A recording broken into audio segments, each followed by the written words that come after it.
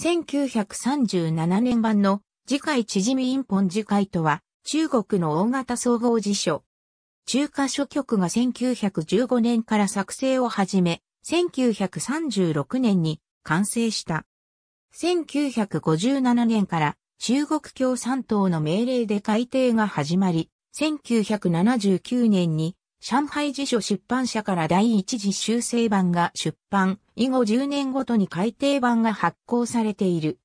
大次回は次回を元にした大型総合辞典であり、2002年から刊行が始まっている。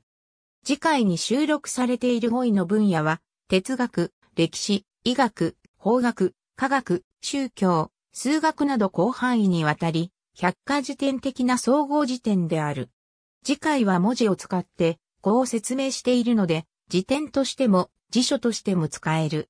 次回は中華書局のオーナー陸妃王子が1915年から編纂を開始した。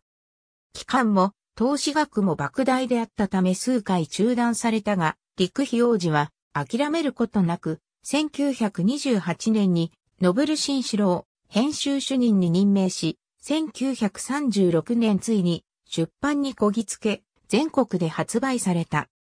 1957年9月、毛沢東は上海に赴き、次回の改定を命じた。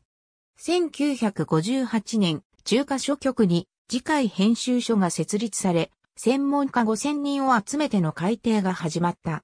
1961年から1962年頃に思考本が完成した。1965年、未定候本が完成する。文化大革命の時期に作業が中止させられたが、文革終了後に上海辞書出版社で事業が再開された。1979年、第一次修正版が完成した。それ以後、10年ごとに大改訂がなされてきた。最新版は2009年に完成している。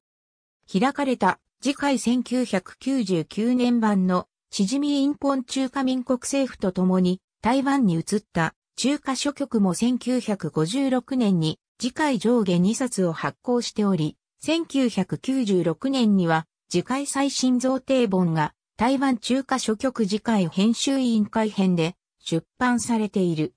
大次回のページ数は次回の2.5倍で5000万字38巻である。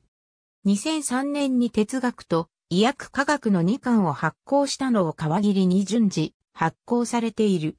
当初は2010年に完成する計画であったが、予定は大幅に遅れ、2012年に21巻まで出版された。この時点で2015年に完成予定と報じられたが、その後の進展は見られない。